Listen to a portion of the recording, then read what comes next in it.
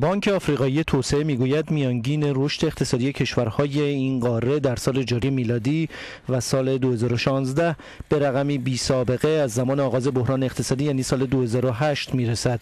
بر اساس ارزیابی های این نهاد که در گزارش سالانه خود منعکس شده میزان رشد اقتصادی در این قاره در سال 2015 4.5 درصد و در سال 2016 حدود 5 درصد خواهد بود.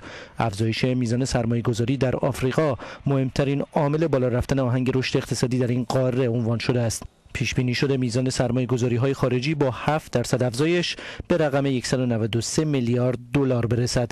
بهبود اوضاع اقتصادی در دنیا و در نتیجه پویایی تقاضای خارج از این قاره نیز از دیگر عوامل صورت گرفتن روند رشد اقتصادی در قاره آفریقا است